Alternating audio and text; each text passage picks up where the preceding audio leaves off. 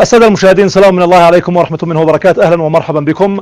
إلى هذه النشرة الإخبارية المفصلة من قناة سهيل الفضائية والبداية كالمعتاد بأبرز العناوين.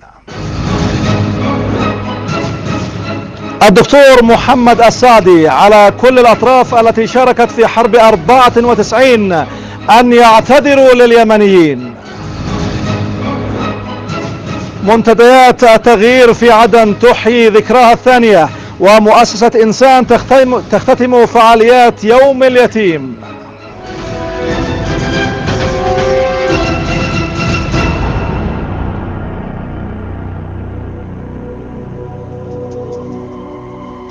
مستهلا النشرة بسم الله الرحمن الرحيم.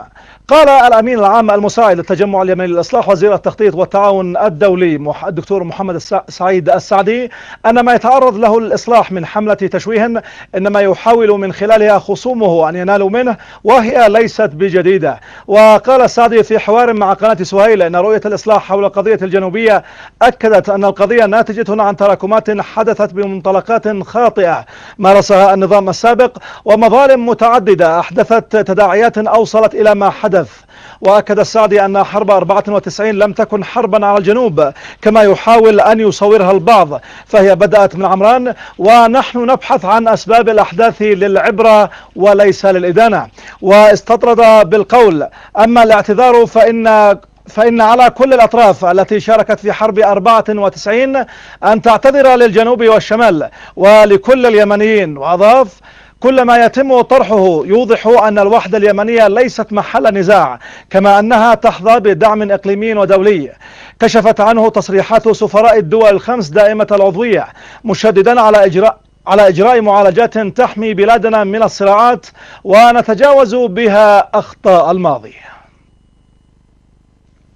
ضمن سلسلة ندوات حوارية نظم المركز اليمني للدراسات الاستراتيجية اليوم بصنعاء ندوة حول النظام الانتخابي بكل أنواعه على طريق بناء الدولة. واستعرض المتحدثون في الندوة أنواع الأنظمة الانتخابية ومدى نجاحها في بعض الدول الأوروبية وكذا عرض التجربة الألمانية في النظام الانتخابي الألماني وذلك من قبل السفير الألماني بصنعاء.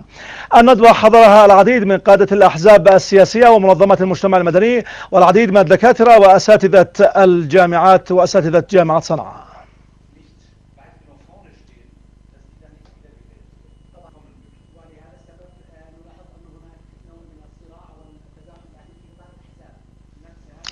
وسط حالة من الاستياء والقلق التي يعيشها أبناء الضالع جراء استمرار حالة الفوضى والانفلات الأمني التي تعيشها المحافظة. يواصل مسلحون يتبعون التاجر العرشي حجز القاطرات في مدينة قاطبة لليوم الرابع على التوالي. وذلك ردا على قيام مسلحين قبليين من أبناء محافظة شبوة باختطاف قاطرتين تابعة له من مدينة الحبيلين واقتيادهما مع السائقين إلى شبوة بهدف الضغط على قبائل الحبيلين لتسليم شخص من أبناء المنطقة. المنطقة يتهمونه بالاحتيال والنصب بمبلغ مالي قدره 25 مليون ريال.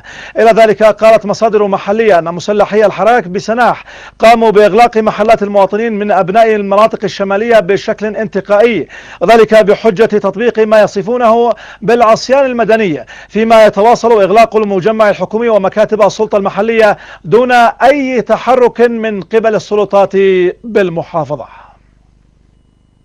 العام المحافظة أصبح الآن نراه في إلى الأسوأ من حيث نقص في النظام والأمن واستهتار مما أدى إلى تمرد المواطنين على المصالح العامة وقطع الطرقات وأخذ والسيطرة والسلطة المحاكم مغلقة وأصبحت إدارة الأمن مقصرة في أداء الواجب. أمن المحافظة يعني من عدم نهائيا. কমে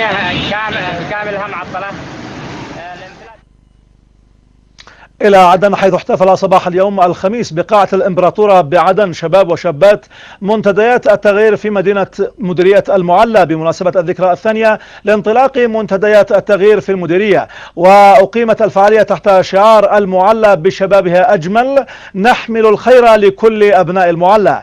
رئيس منتديات شباب المعلى محمد مقبل استعرض في كلمته الدور الكبير الذي قدمه شباب التغيير في المديرية. من خلال هذا المنتدى كما استعرض في كلمته العديد من الأنشطة النوعية والمتميزة التي أقامت التي أقامتها المنتديات من دورات تأهيلية وحلقات نقاشية وأنشطة رياضية وثقافية مختلفة. وكذلك زيارات ميدانية للعديد من الأماكن والجهات. وكذلك مساعدة النازحين والنازحات من محافظة أبين من خلال تقديم المواد الإغاثية لهم. كما تحدثت رئيسة منتديات المرأة للتغيير في المعلى إلهام عبد الله مستعرضة الدور الكبير الذي قدمته المرأة العدنية في الثورة الشبابية السلمية فيما أشاد مأمور مديرية المعلى دكتور يزن سلطان ناجي بشباب الثورة وشابات المعلى مثمنا دورهم الكبير في خدمة المديرية. برعاية الأستاذ عبد القادر هلال أمين العاصمة وبمشاركة كل من دار الأيتام ودار الرحمة ودار الشوكاني ودار إنسان وبمناسبة يوم اليتيم العربي أقامت اليوم مؤسسة صناع الحياة الحفل الختامي لليتيم بمشاركة نخبة من المهتمين وبحضور العديد من المستفيدين من أنشطة المؤسسة ودور الأيتام. وتم في الحفل التأكيد على أهمية رعاية الأيتام والإحسان إليهم التزاما بقول الرسول الكريم أنا وكافل اليتيم كهاتين في الجنة. وأشار بإصبعيه السبابة والوسطى. تخلل الحفل العديد من الوصلات الإنشادية والاستعراضية كما تم تكريم وتوزيع الشهادات التقديرية والهدايا للدور المشاركة في الفعالية وأيضا توزيع شهادات للمتدربين في الدورة التدريبية بعنوان فن الاتصال والتواصل.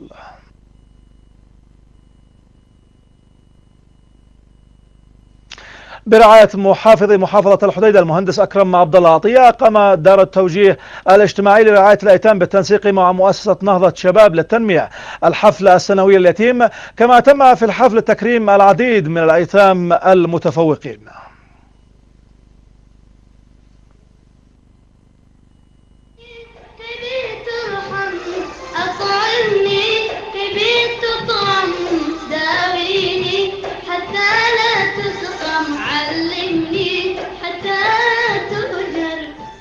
تحت شعار يدا بيد نبني يمن الغد أحيا التجمع اليمني للإصلاح بالدائرة الرابعة عشر بأمانة العاصمة.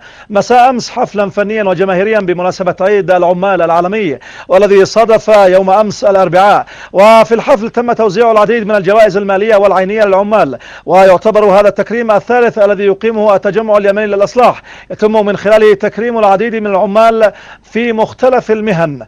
الحفل حضره العديد من القيادات وأعضاء الإصلاح. بالدائرة.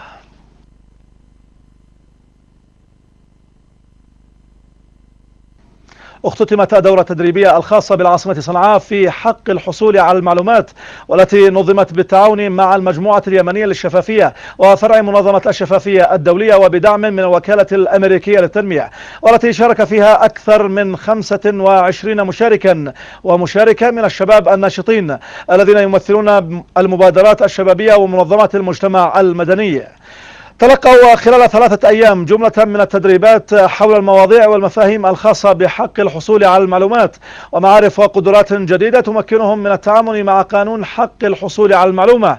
وتم عرض وتحليل القانون واستعراض أهم معوقات تنفيذه وكيفية التغلب عليها. وفي نهاية الدورة و تم إعداد خطة حملات مناصرة لدعم القانون من أجل تنفيذها على أرض الواقع.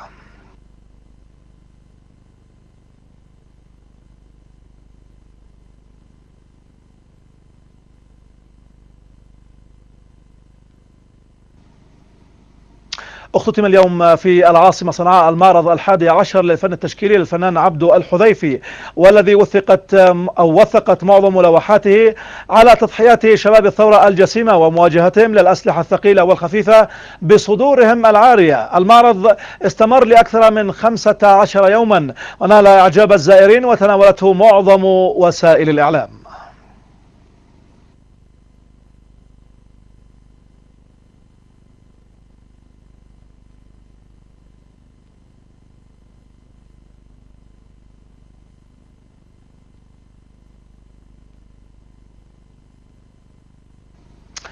الشهيد علي أحمد الصلاحي عسكري حمل هم الوطن اليمني والعربي وظل مدافعا عن قضايا الشعب حتى أصيب في قصف مكتب التربية في تعز في عام الثورة وهو يناضل من أجل التغيير. المزيد في سياق التقرير التالي. إحياء للذكرى الأولى لرحيل واستشهاد الشهيد القائد العقيد علي أحمد الصلاحي ابن تعز الوفي الذي قدم روحه فداء لهذه المدينة. التي تعرضت للاستهداف يوم ثوري بامتياز والهدف من إقامة هذه الذكرى هو أولا آه، إحياء مناقب مناقب الشهيد علي الصلاحي وأيضا هو آه، تذكير آه، بالثوار وشهداء الثورة الشبابية الشعبية السلمية بمختلف عموم اليمن وهو أيضا تذكير للجهات المسؤولة الرسمية والشعبية على أنها ت- ينبغي أن يبقى أن يبقى آه، تبقى ذاكرة الشهداء آه، في عقولهم. أصدقاء ومحبي الشهيد الصلاحي لا يزالون يتذكرون إشراقته الوثابة الهادئة ويعتبرونه أعطى الوطن كل شيء ولم يأخذ منه شيء. الرجل الصادق المقدام الذي كان في مقدمة ثوار وأحرار تعز وفي مقدمة حماة الثورة وحماية وفي مقدمة حماية أبناء وبنات تعز وأحرار وحرائر تعز. عرفت الشهيد البطل القائد علي أحمد الصلاحي قائدا قسورا مضحيا شجاعا مقداما لا يخاف في الله لومة لائم. رجل أحب وطنه وشعبه سكن حب الوطن في قلبه. أولاده وأهله ممتنون لكل من قام بالواجب تجاه إحياء ذكرى والدهم ولم ينسوه بل بادلوه الوفاء بالوفاء. إننا نشكر كل من جاء إلينا من صعدة ومن عمران ومن أنحاء محافظة تعز نشكرهم من أعماق قلوبنا وأفئدتنا نقول لهم والله لقد أهلكتم صدورنا وأفئدتنا وجعلتمونا نحس بأن أبي علي الصل... بأن أبي العقيد علي أحمد علي سيف الصلاحي قد استشهد ورحل إلى جنة الخلد وأن لي وأن لي ألف أب من الموجودين الذين حضروا. الشهيد الصلاحي ارتقى إلى ربه خفيفا خادما لأمته شامخا محبا لليمن ومدافعا عنها. لم يترك في الدنيا إلا الذرية الصالحة والسمعة الطيبة فأحبه كل من عرفه وسمع به. حزت المناقب والفضائل نلتها وسموت ترقى في بروج علاك ودعت دنيانا شهيدا ثائرا والله من أدرانها نقاك محمد يوسف لقناة سهيل تعز. ونحط الرحال في عدن حيث دشنت مؤسسة لأجل الجميع للتنمية صباح اليوم. مشروع تمكين الشباب اقتصاديا التابع للبرنامج الإنمائي للأمم المتحدة تحت رعاية وزارة التخطيط والتعاون الدولي ووزارة الشباب والرياضة وبالتنسيق مع منظمات المجتمع المدني بعدن. ويهدف المشروع إلى تمكين الشباب من خلال خلق فرص عمل مستدامة واستهداف المش... واستهدف المشروع 140 شابا وشابة من مختلف مديريات محافظة عدن. حضر حفل تدشين أحمد الضلاعي وكيل محافظة عدن وماجد الشاجري رئيس اتحاد منظمات المجتمع المدني بعدن والسيدة كارولين مستشارة مشروع تمكين الشباب اقتصاديا التابع للبرنامج الإنمائي للأمم المتحدة.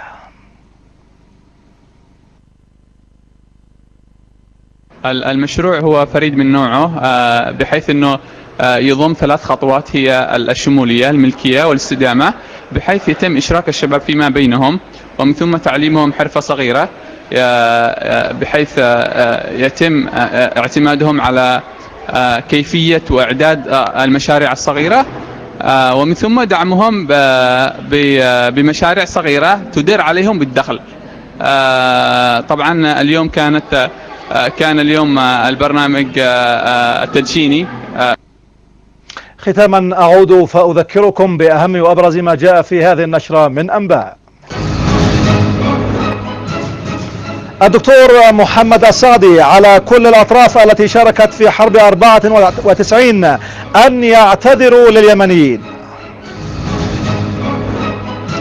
منتديات التغيير في عدن تحيي ذكرها الثانية ومؤسسة إنسان تختتم فعاليات يوم اليتيم.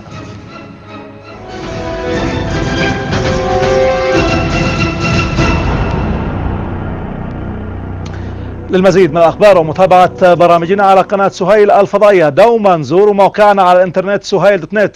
كما يمكنكم أيضا زيارة صفحاتنا على مواقع التواصل الاجتماعي. دمتم في رعاية الله. والسلام عليكم ورحمة الله وبركاته.